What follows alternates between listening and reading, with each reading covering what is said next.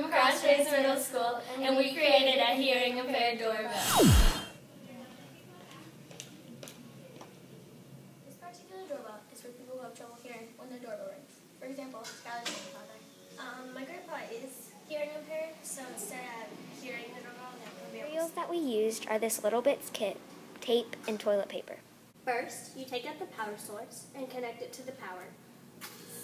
Then, you add the pressure sensor and both of the wires. Then you connect the branch to the wire. On both sides of the branch, you connect the LED lights. And in the front, you connect the fan.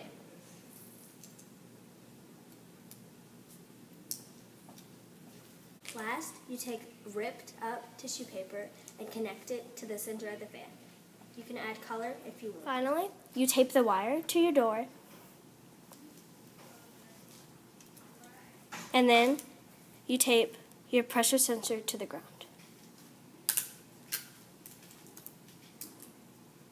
Thanks for watching.